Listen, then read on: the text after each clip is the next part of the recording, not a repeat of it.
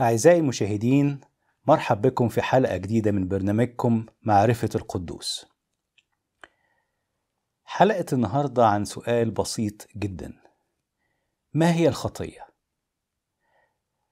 آه، اتكلمنا في حلقة قبل كده عن الخطية وقلنا لما في المسيحية بنتكلم عن الخطية ممكن نتكلم عنها من ثلاث زوايا أو من ثلاث مفاهيم.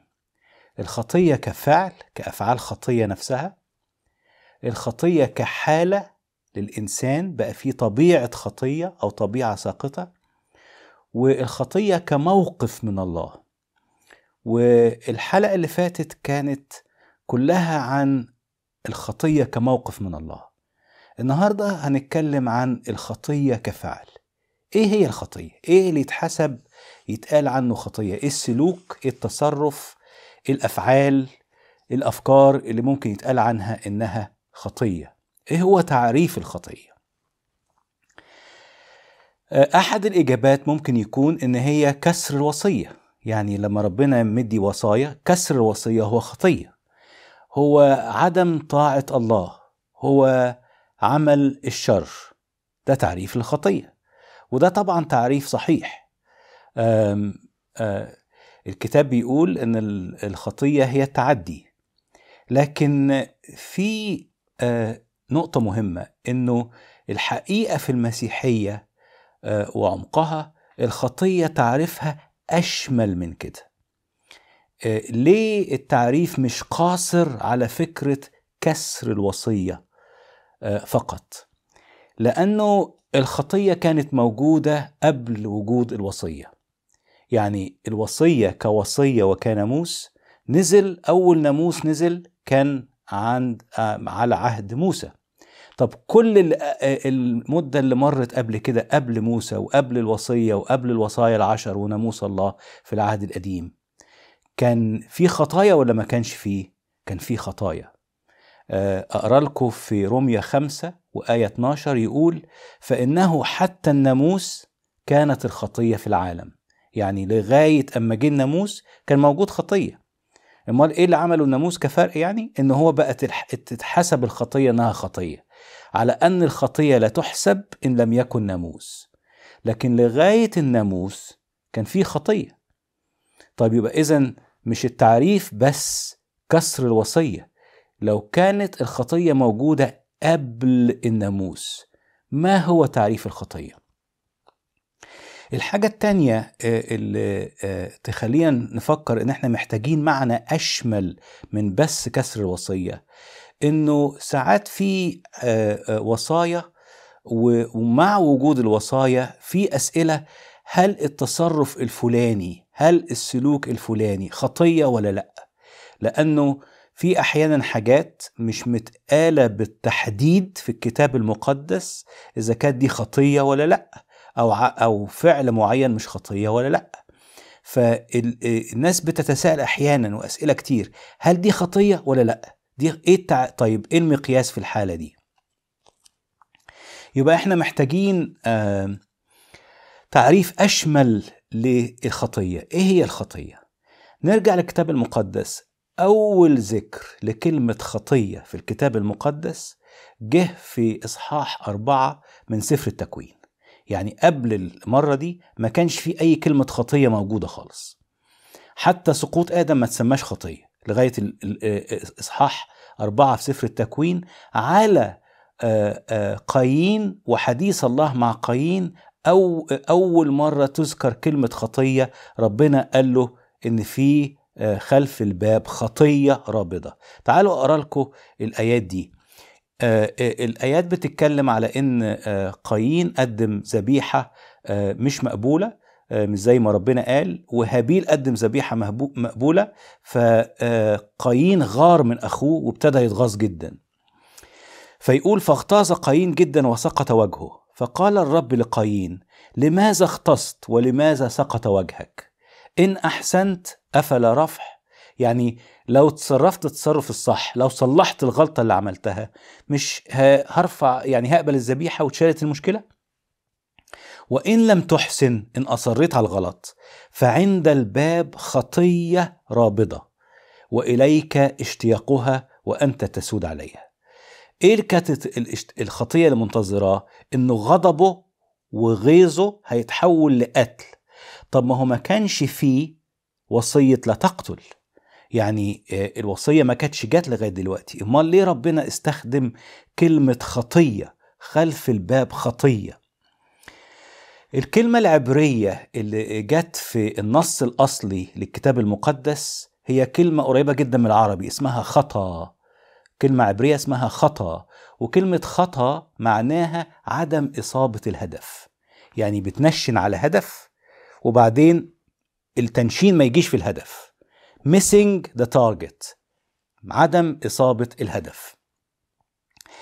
فالخطية اللي بيتكلم عليها ربنا هنا لقايين مش بس تعرفها إنه هتقتل عكس الوصية لا تقتل لأن ما كانتش نزلت الوصية. يبقى إيه الهدف اللي هي اللي قايين لن يصيبه هنا وفشلوا في إصابة الهدف؟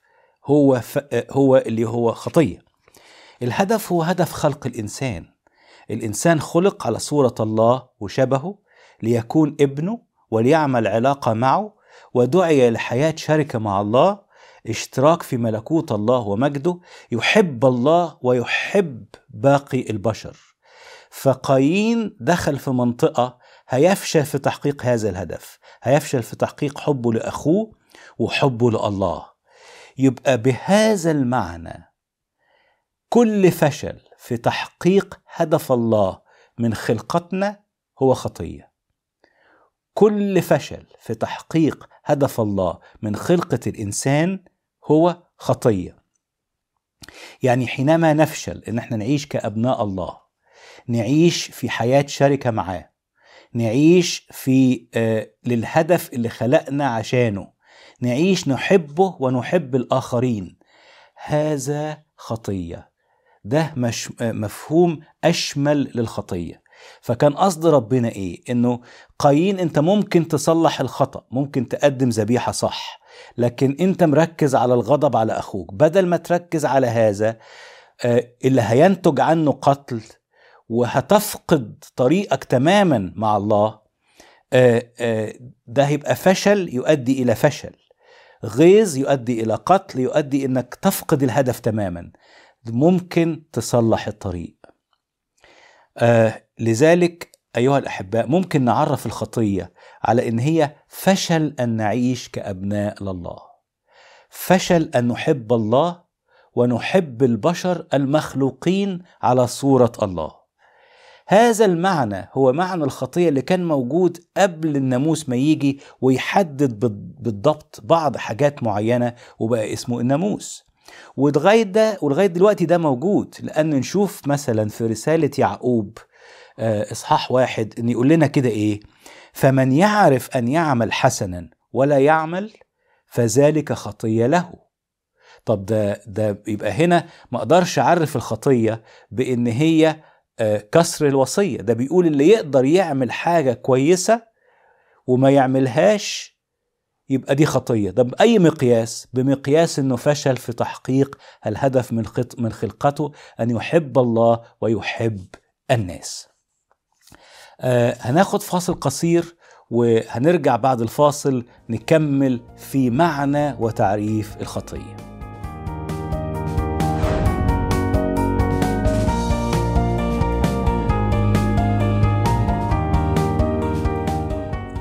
مرحب بكم مرة أخرى أعزائي المشاهدين.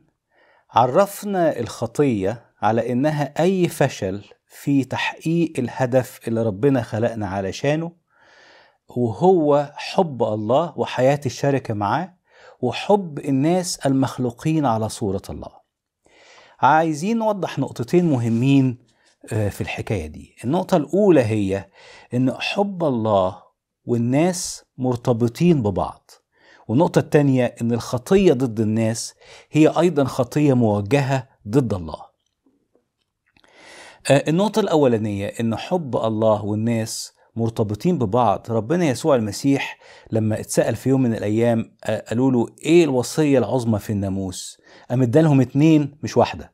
قال لهم تحب الرب إلهك من كل قلبك ومن كل فكرك ومن كل قدرتك وبعدين وتحب قريبك نفسك وبعدين قال لهم ان دول أعظم وصيتين في الناموس. فرغم إنه اتسأل على أعظم وصية إدى الاثنين ان الاثنين مرتبطين ببعض. لو رجعنا للمثل اللي ضربناه عن قايين من شوية وشفنا أول مرة ذكر فيها كلمة خطية نلاقي إنه معلمنا يوحنا في الرسالة الأولى اصحاح ثلاثة جاب مثل قايين ده واتكلم عليه شوية. تعالوا نشوف قال إيه. قال كل من لا يفعل البر ليس من الله. يبقى بيتكلم على إيه؟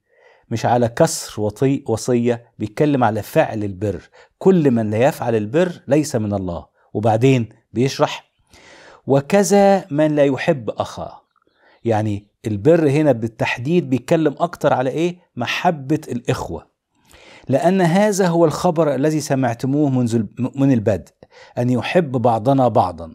ليس كما كان قايين من الشرير وذبح أخاه ولماذا ذبحه؟ لأن أعماله كانت شريرة وأعمال أخيه بارة. فإيه اللي بنشوفه هنا؟ إن معلمنا يوحنا بيقول إنه اللي من الله اللي بيحقق الهدف. أعماله بره وبعدين المثل اللي بيوضح ده جدا إنه يحب أخاه. مش زي قايين ما عمل. قايين عمل إيه؟ فشل في إنه إيه؟ نحب بعضنا بعضا. وده كان قبل وصية أو لا تقتل أو قبل الوصايا العشر.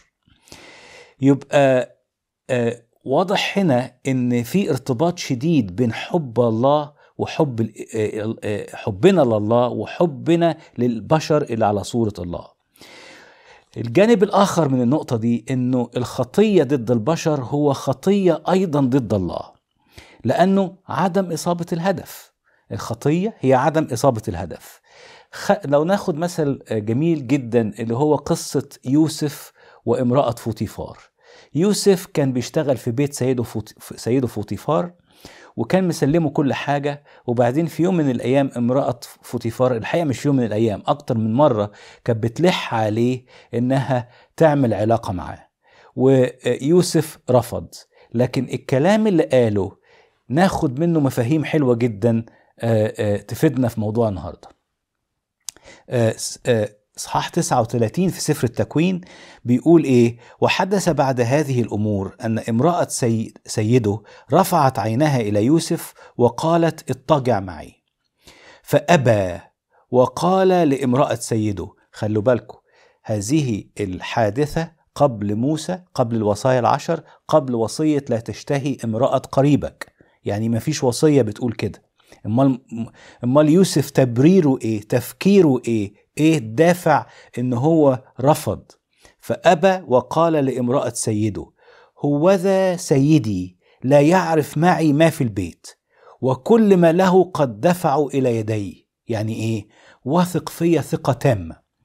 ليس هو في هذا البيت أعظم مني. مكرمني كرامة عظيمة جدا. واثق مني؟ مكرمني. ولم يمسك عني شيئا غيرك لأنك امرأته. ثقة. فكيف أصنع هذا الشر العظيم؟ فين الشر؟ هي عايزة كده. وأخطئ إلى الله. الشر هنا إني أخون الأمانة اللي سيدي فوطيفار مديهاني. هو مأمني مسلمني البيت كله. مسلمني ما يعرفش اللي في البيت. دي أمانة معطاة ليا. ف لن أخون هذه الأمانة ولن أخطئ أيضا في حقك لأني بحترمك كإنسانة. فهنا احترام يوسف لأمانة الأمانة المعطاة له من سيده واحترامه لامرأة سيده لأنها كرامتها من كرامة سيده اللي بيحترمه خلته يقول على ده شر عظيم ويشوف إن هو بيخطئ لله لو آآ آآ آآ سمع كلامها واتجع معاها. إذا فهمنا للخطية على إنها عدم إصابة الهدف. إذا فهمناها كده لن يهمنا فقط الفعل الخارجي ولكن يهمنا احترامنا لكرامة البشر وكرامة كل نفس إنسانية هي مخلوقة على صورة الله. ودي نقطة مهمة جدا ومعنى سامي جدا وهم في المسيحية. القضية في المسيحية مش صح وغلط الأهم ورا كده إيه؟ ورا كده إنه أنا لا أخطئ لأخي لأنه مكرم جدا. مخلوق على صورة الله ومثاله. مخلوق على له كرامة عند ربنا. محبوب جدا من الله.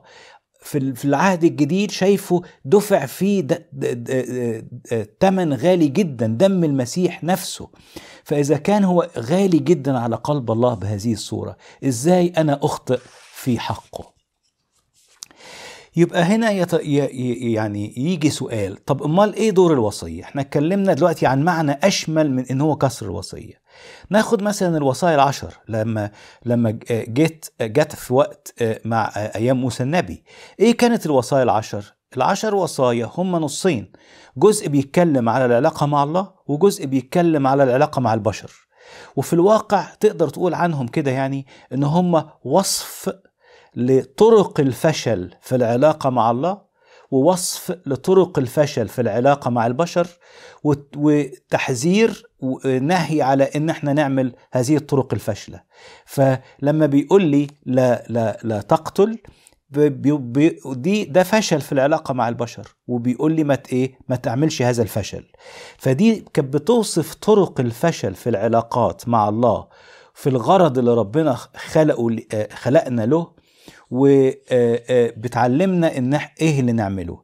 ليه احتاجناه؟ لأن إحنا مع الوقت بعد الخطية البشرية فقدت المقياس. ما بقاش سهل إيه المعروف الصح والغلط. وده الشيء العجيب إنه شجرة معرفة الخير والشر في النهاية أدت لعدم معرفة المقياس.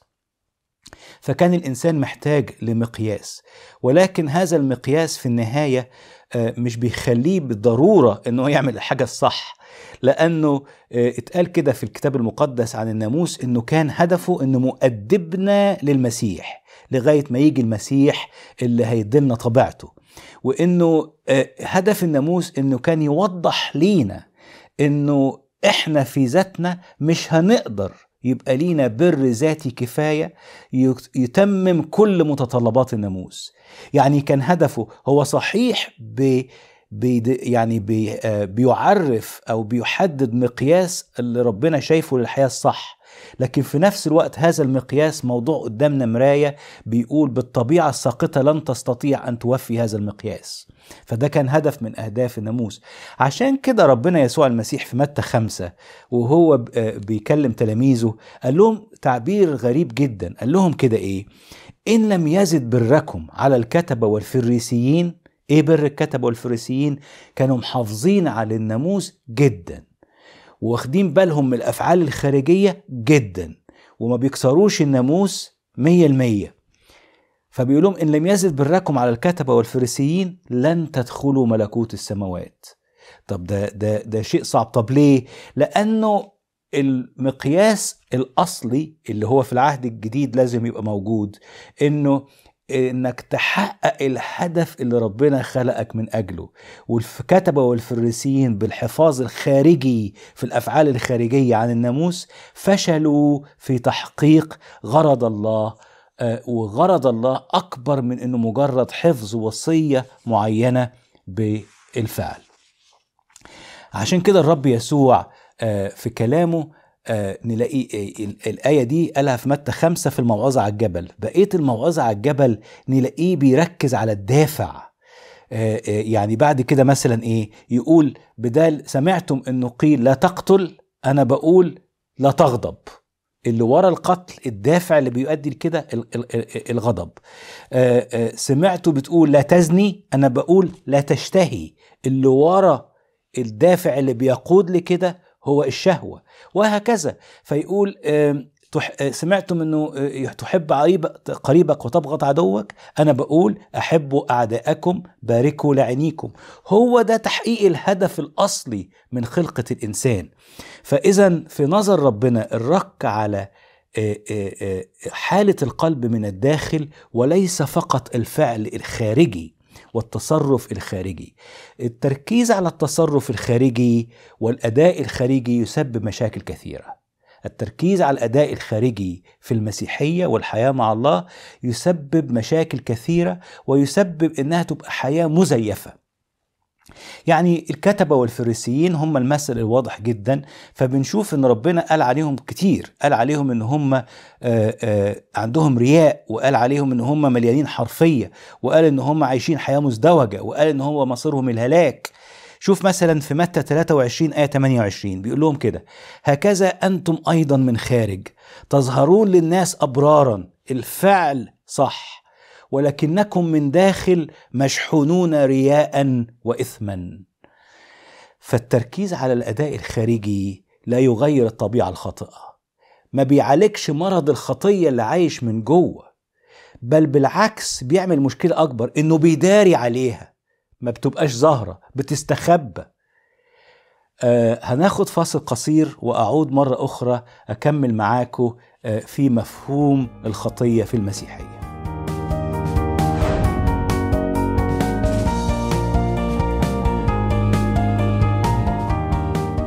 قبل الفاصل آه، شفنا إزاي آه، التركيز على الأداء الخارجي في حياة الكتبة والفريسيين أدى إلى حياة مزدوجة من الخارج مظهر بر ومن الداخل رياء وإثم.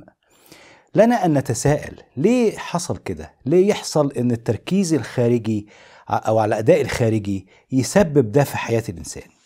في نقطتين مهمين قوي محتاجين إن إحنا ناخد بالنا منهم. الخطية معاها مشكلة تانية هي مشكلة خداع النفس يعني إيه مشكلة خداع النفس؟ يعني من مشاكل الخطية إن إحنا لا نعرف أننا نخطئ آه بل الأسوأ أحيانا إنه مش بس ما نعرفش إذا كنا غلطانين أو بنعمل حاجة غلط لكن أحيانا أيضا نظن أننا نصنع الصواب أو أننا ناجحين في تحقيق هدف الله وإحنا في الواقع فاشلين كل الفشل. ليه كده؟ ليه يحصل كده؟ لأن ده كان من مشاكل إن الواحد ياخد معرفته من نفسه معرفة الخير والشر شجرة معرفة الخير والشر. مثلا خد أي نزاع بين اتنين اتنين مختلفين في الرأي. لو اتكلم معاهم تلاقي كل طرف مقتنع تماما إن هو الصح. ممكن أحيانا تقول ده عدم فهم وتحاول تخليهم يفهموا بعض وأحيانا ده بيحل المشكلة. لكن أحيانا تانية ما بيحلهاش وكل طرف بيتمسك برأيه رغم إن هم فهموا بعض كويس جدا دلوقتي. آآ آآ وغالبا الطرف المخطئ تلاقيه متمسك برأيه أكتر ومقتنع إن هو صح أكتر. ليه كده؟ لأن في خداع للنفس الخطية معاها خداع للنفس. المخطئ لا يرى خطأه. آه، من أكثر الأمثلة في الكتاب المقدس لهذا الخداع خداع النفس self deception هو داوود النبي. آه، داوود النبي أخطأ مع امرأة متزوجة وبعدين رتب مؤامرة إنه يقتل جوزها في الحرب. وبعد ده كله ربنا حب إن هو يعرفه غلطته لأنه مش حاسس بنفسه.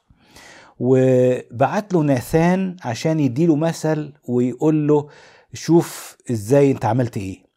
وناثان ضرب له مثل قال له إنه كان في واحد غني ساكن آه، جنب واحد فقير الراجل الغني عنده آه، غنم وبقر كتير إلى آخره والراجل الفقير عنده نعجة واحدة هي اللي بتسليه هي صاحبته وبنته رفيقته الوحيدة. وبعدين في يوم من الأيام الغني جاله ضيف. فبدل ما يذبح حاجة من اللي عنده بعت خد النعجه بتاعت الراجل الضعيف منه وذبحها للضيف. فداود غضب جدا واتنرفز جدا ويقول في صموئيل 2 12 فحمي غضب داود على الرجل جدا حمي غضبه. وقال لناثان حي هو الرب أنه يقتل الرجل الفاعل لذلك. شوفوا قد إيه زعل جدا اتحمق قوي. فناثان قال له أنت هو الرجل. أنت هو الرجل. داوود بعظمته ما شافش غلطته. في القصة اللي, اللي ناثان حكاها له واتحمق عليه وشافه غلطان. وده كان مثل صغير على اللي عمله داوود. آه في سفر أرمية إصحاح 17 وآية 9 بيقول تعبير صعب قوي قوي على الحكاية دي. بيقول القلب أخدع من كل شيء وهو نجيس من يعرفه.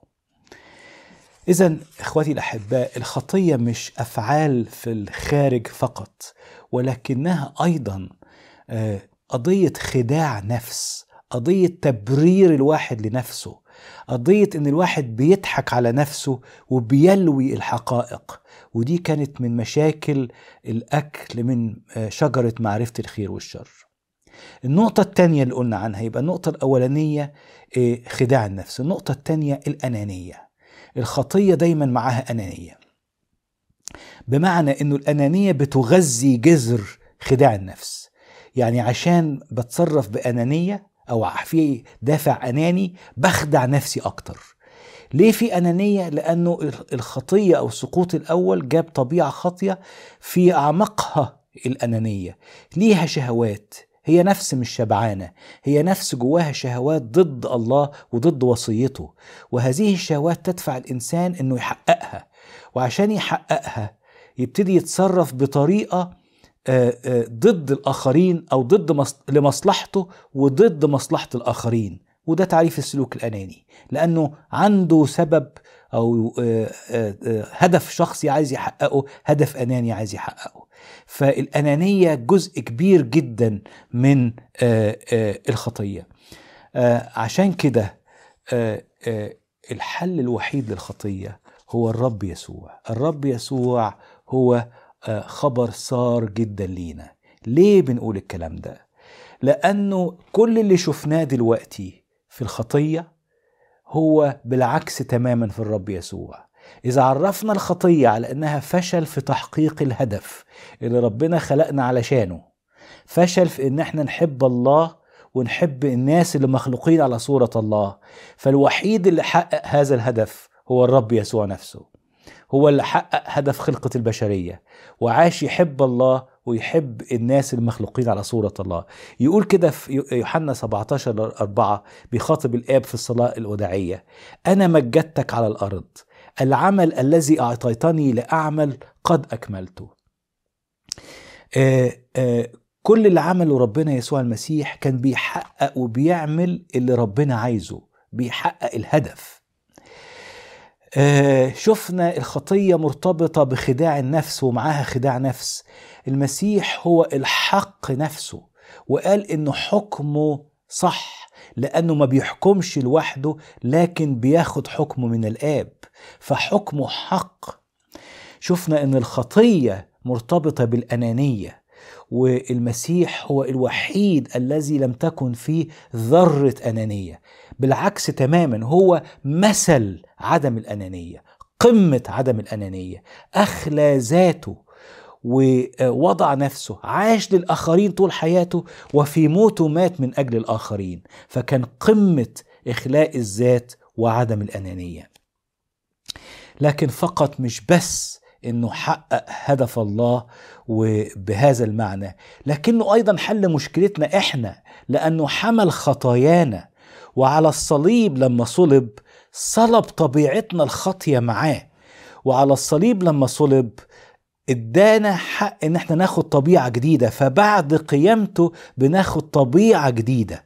ده اللي بيقوله الكتاب في روميا 6 وآية 4 بيقول فدفنا معه بالمعمودية للموت. يعني كل واحد لما بيتعمد بيدفن مع المسيح آه، بيموت عن ذاته وطبيعته الخطية بتموت في هذه المعمودية.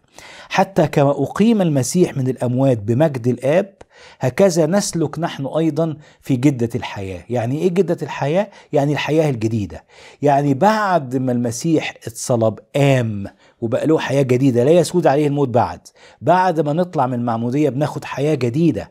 حياة آه، مخلوق آه، يقول إن الإنسان الجديد مخلوق على صورة خالقه في البر وقداسة الحق. فبقى دلوقتي في طبيعة جديدة مش طبيعة الخطية طبيعة خداع النفس طبيعة الأنانية. فالسؤال آه، اللي كل واحد بيسمع حلقة النهارده هو الآتي. ماذا تحاول في حياتك؟ هل أنت تحاول أن تعيش بطبيعتك الساقطة بطبيعة الخطية حسب وصية الله حسب مستوى عالي جدا لا تستطيع أن تحققه حسب درجة من المعيشة صعب جدا على الطبيعة الخاطيه أنها توصل لها؟ فالنتيجة الحتمية هي المعاناة في الحياة لأن حاجة مش قادر عليها والنتيجة النهائية هي فشل في تحقيق الهدف. ولا انت بتحاول تقول أنا ما أقدرش وتقول يا إلهي يا مخلصي وربي يسوع المسيح انت تقدر تعمل ده فيا. أنا أريد أن أموت معك في جرن المعمودية. أنا مت. أنا عايز الحياة الجديدة دي تكون موجودة فيا. أعيش بحياتك أنت. زي ما بيقول الكتاب فأحيا لا أنا بل المسيح يحيا فيا.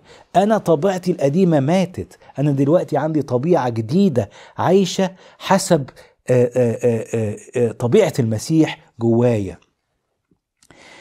محاولاتنا الإنسانية ستفشل لأن القضية ليست قضية الخارج والأداء الخارجي وخطايا الفعل القضية قضية مرض خطية داخلي. وجهادنا الحقيقي هو في إن إحنا نعيش بحياة المسيح. ناخد الحياة حياة المسيح في حياتنا إحنا.